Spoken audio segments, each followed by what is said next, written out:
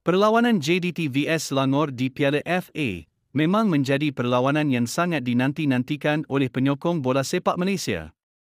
Apalagi Selangor setakat ini belum pernah melawan JDT sehabis undur diri dari perhelatan akbar Piala Sumbangsir musim 2024-2025 ini.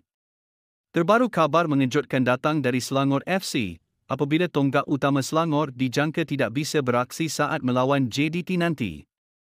Menjelang kira-kira seminggu lagi sebelum perlawanan final Piala FA antara Selangor FC dan Johor Darul Tazim, JDT, kem gergasi merah ditimpa isu kecederaan membabitkan pemain utama mereka.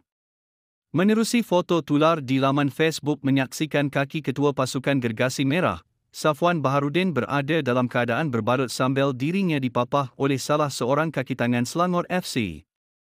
Kecederaan menimpa pemain kebangsaan Singapura berkenaan difahamkan berlaku ketika perlawanan bertemu Sabah FC pada Rabu yang menyaksikan gergasi merah menang 2-1 ke atas Derhinos dalam aksi Liga Super di Stadium Likas dekat Kota Kinabalu, Sabah. Meskipun tiada perkembangan terkini mengenai keadaan pemain berusia 32 tahun berkenaan, namun penyokong merah kuning rata-ratanya bimbang jika Safwan tidak sempat untuk mempersiapkan diri pada aksi final Piala FA nanti.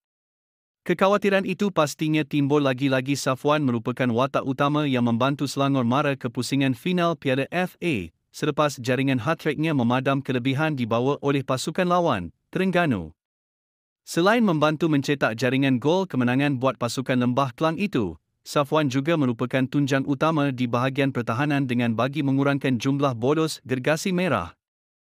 Bukan itu sahaja, Skuad gergasi merah juga pastinya tidak mahu terlepas hikmat kualiti kepimpinan yang ada pada Safwan terutama dalam perlawanan getih berjumpa Harimau Selatan nanti. Dalam pada itu, Selangor FC sudah mendapat motivasi terbaik untuk menghadapi final Piala FA selepas meraih tiga mata dalam saingan Liga Super di Stadium Likas dekat Kota Kinabalu, Sabah pada Selasa. Pengendalinya, Mohad Nizam Jamil berkata, kemenangan itu cukup penting untuk menaikkan semangat juang pasukannya bagi menghadapi skuad Harimau Selatan pada 24 Ogos ini. Hal ini tentunya membuat penyokong Selangor risau, mengingat Safwan merupakan pemain yang sangat penting buat Selangor. Akhirnya sekian informasi kami buat, semoga bermanfaat. Jangan lupa subscribe.